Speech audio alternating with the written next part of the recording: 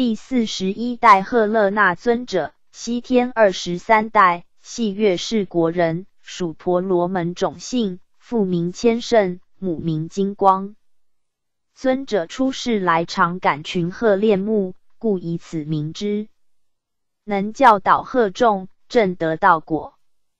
将如来正法眼藏副主师子尊者，即曰：认得心性时，可说不思议，了了无可得，得时不说之。